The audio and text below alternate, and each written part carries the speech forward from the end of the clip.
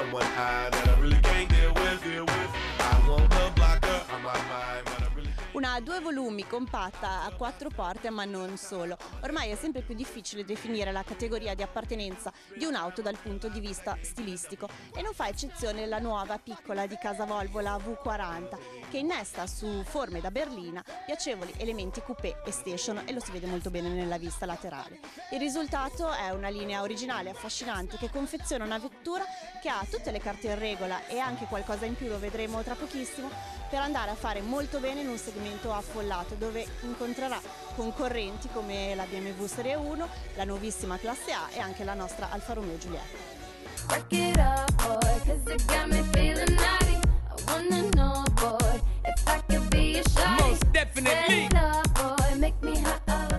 Esternamente piace dunque molto la coda con la sua originalità che non mancherà di fare strage di cuori, all'interno l'arredamento è come sempre di gran classe e anche quanto a spazio non ci si può lamentare. Solo i più alti, posizionandosi sulla seconda fila, sfioreranno con la testa il tetto.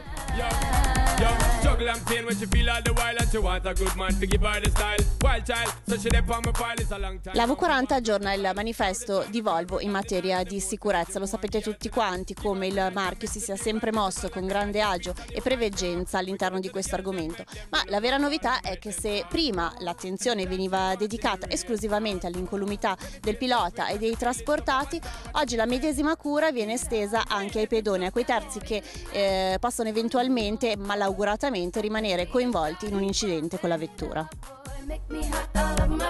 Break it off, take it off, no mistake it off. Yo. Work it up,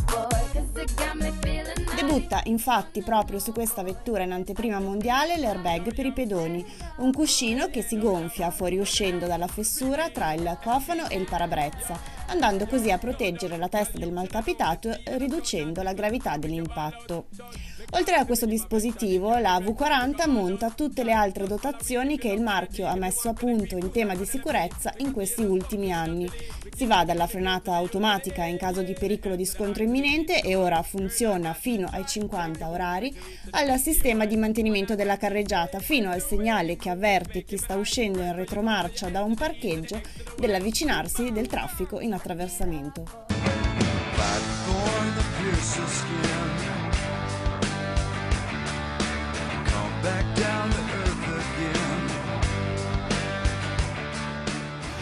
Guida abbiamo scelto la motorizzazione che quasi sicuramente sarà la più venduta in Italia, il turbo diesel 1600 da 115 cavalli.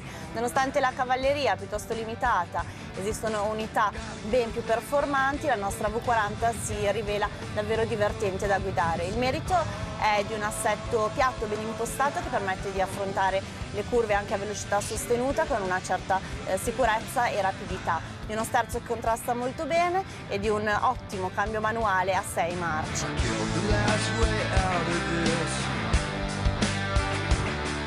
La vettura nazionale qual è? La V40 non trascura l'argomento consumi ed emissioni, si percorrono eh, 100 km con 3,6 litri di gasolio mentre le emissioni di CO2 si fermano a 94 grammi al chilometro.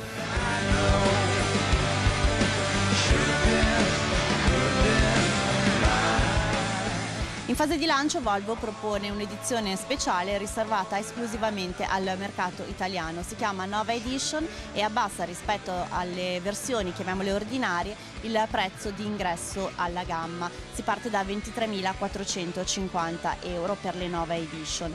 Mentre invece per quanto riguarda la motorizzazione che abbiamo provato oggi, che vi ricordo è il 1600 eh, turbo diesel da 115 cavalli si parte da 26.300 euro. Verranno presentate invece a Parigi e arriveranno tra qualche mese le versioni Art Design.